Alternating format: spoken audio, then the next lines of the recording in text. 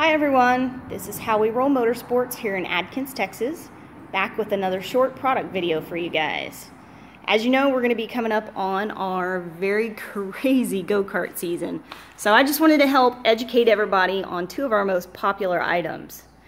And while both these go-karts sitting here look pretty much the same, they do have one very big difference between them. But let's start with what they have in common. Each one of these go-karts is made by a company called Hammerhead Off-Road.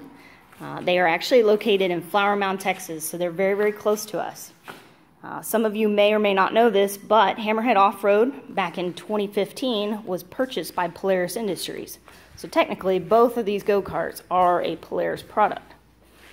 Uh, something that they have in common, they are both recommended for ages 9 to 14 years old. So these are recommended for younger kids and the less experienced drivers out there.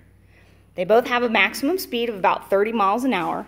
That can be governed back. There is a very simple throttle bolt on the backside of the gas pedal, which I will try and point out to you without making you sick. It's located right there. It's a very easy mechanism in order to slow it down or speed it back up.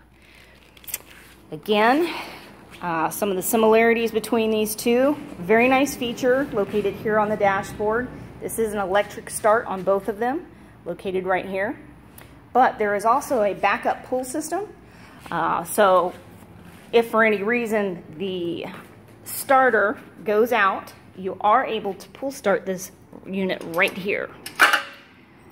Something else they have in common, both of these go-karts have lights on the front and they both have a horn which is controlled here up on the dashboard.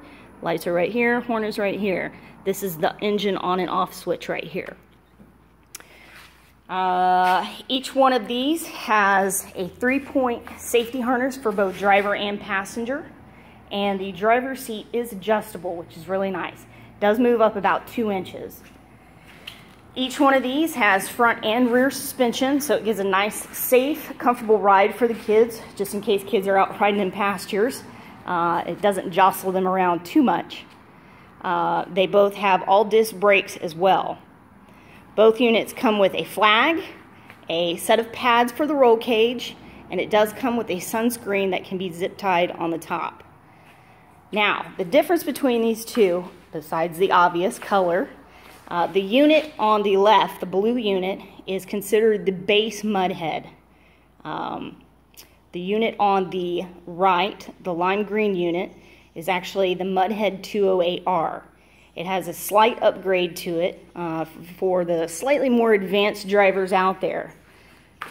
That upgrade, let me move around here so you guys can see it, uh, is the ability to go not only forward, sorry about that, uh, but to also go in reverse. So forward, neutral, and reverse on this unit, uh, and the base Mudhead, which is over there in blue, does not have that mechanism. So, really cool thing about both of these they come with the greatest warranty in the industry. It is a three-year parts and labor warranty on the engine and drivetrain, and it's six months bumper to bumper. As you all know, we do service everything that we sell, so if you ever have an issue with any one of these units, you just bring it back to us and we take care of it for you. So again, this is uh, covering the Hammerhead Off-Road, Mudhead, and Mudhead 208R go-karts. Uh, hope to see you guys soon. Thanks.